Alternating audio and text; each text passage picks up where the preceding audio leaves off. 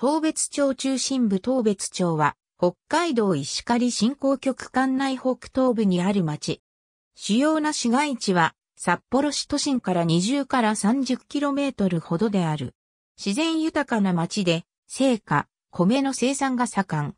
北海道医療大学と提携して、東別町2万人馬の健康プロジェクトを推進するなどの活動も行っている。石狩振興局管区の北部に位置し、町域は南北に細長い。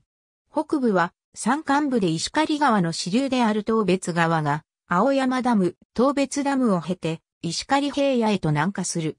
1990年9月より、道民の森が実現。南部は平野地帯で田園風景が広がる。市街地は江別市の北に位置する石狩東別駅周辺と札幌市北区寄りの石狩太見駅周辺、太見地区の北側の丘陵に位置する緑豊かな街並みの住宅街、スウェーデンヒルズなどである。石狩振興局空地総合振興局アイヌ語のトペより、沼から来る川を意味し、東別川を指した。現在の水田地帯がかつて沼だったことによる。基幹産業は農業、林業、石狩市町で米の生産量が最も多い。札幌市に近い南部の西東別近郊は、ベッドタウンとしても発達している。ビトエ中島地区は、篠路郵便局が周辺エリアとなっている。警察消防航空自衛隊土木、北海道医療大学東別キャンパス、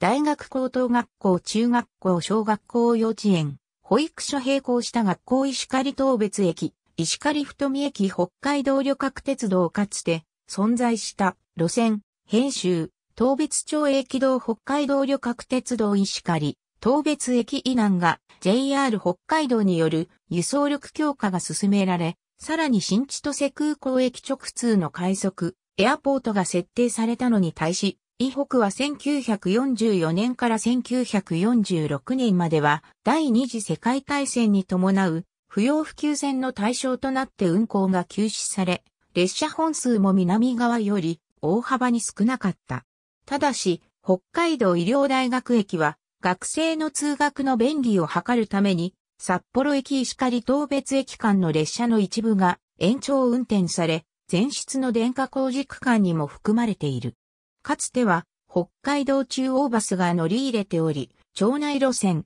東別町江別市、新市の津村、石狩市、札幌市都心部、石狩太見駅栄町駅などのバスを運行していた。撤退後一部路線は、町から札幌第一観光バスへの委託路線として引き継がれたが、これらはすべて後に委託先が下段モータースへ移管されている。伊達邸、別館1978年の千葉真一、主演ドラマ、十字路で舞台となった。